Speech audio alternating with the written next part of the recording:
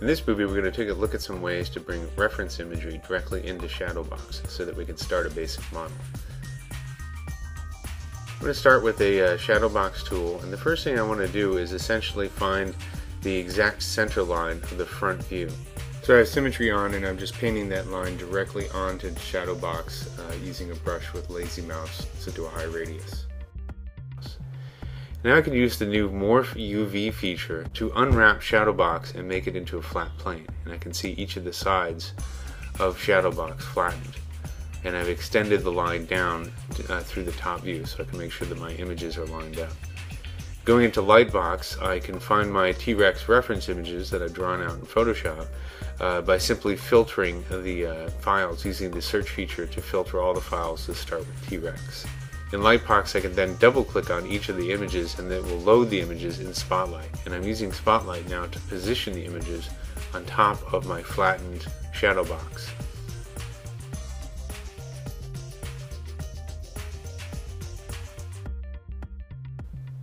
And I'm just taking the top view there and lining it up. And that center line that I've drawn on Shadowbox helps me position each of the images.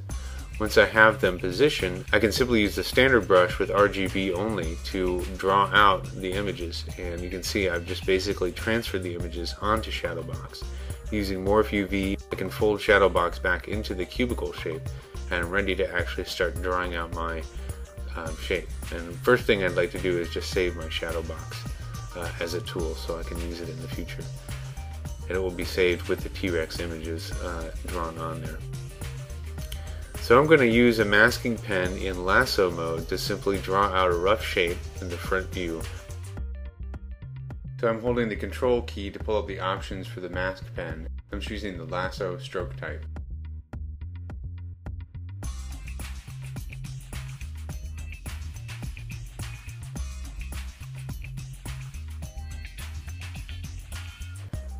Once I have the basic shape, I'll turn transparency on so I can see through the mesh that Shadowbox creates so that I can continue to work with my reference imagery. And now I'm just cleaning up the edges here with the masking pen. Once I have the basic shape, I'll switch over to a side view and draw out the shape from the side using the reference imagery. And the idea here is to essentially create a very basic shape that I can start to work with with my sculpting brushes. For that reason, I keep the resolution of Shadowbox fairly low. I keep, and this one I have it uh, set to 256. Once I have the outline, I can hold the Alt and Control button while I draw out the lasso mask to actually cut holes through the uh, mesh that Shadowbox creates to create the holes in the T-Rex skull.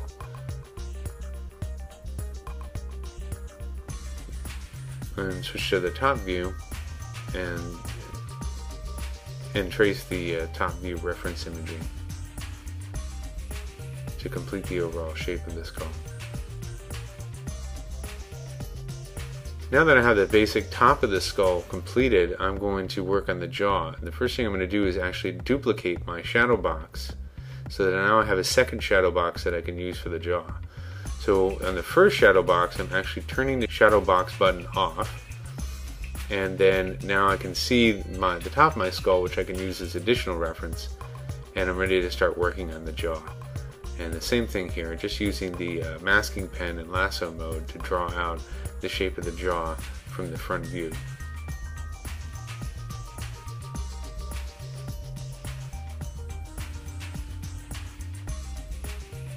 And then switching over to the side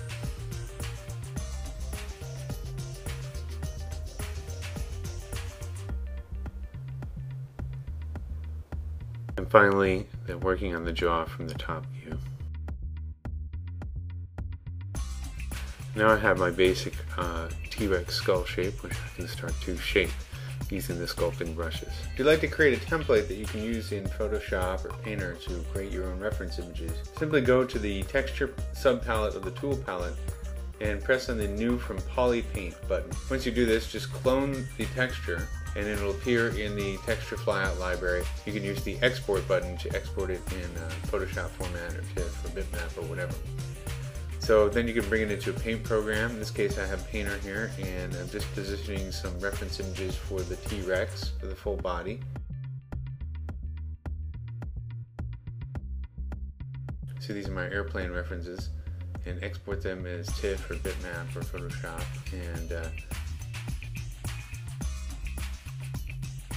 and then open the texture flyout library, import the image, and then set it as your texture map for the Shadowbox tool, and then you have your own custom reference there, which you can use uh, to create your new meshes.